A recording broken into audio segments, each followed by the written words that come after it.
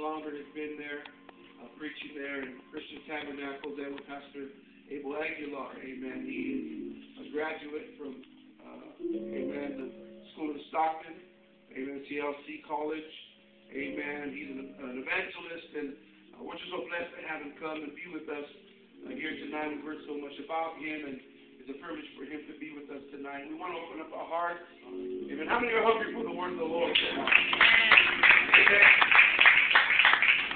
All it takes a hungry heart. You come expecting something from God, God is going to fill that need that you have. Amen.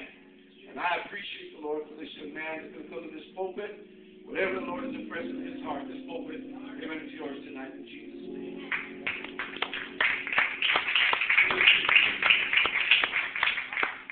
Well, before we get started, why don't we go to two or three people and tell them what you expect God to do in this service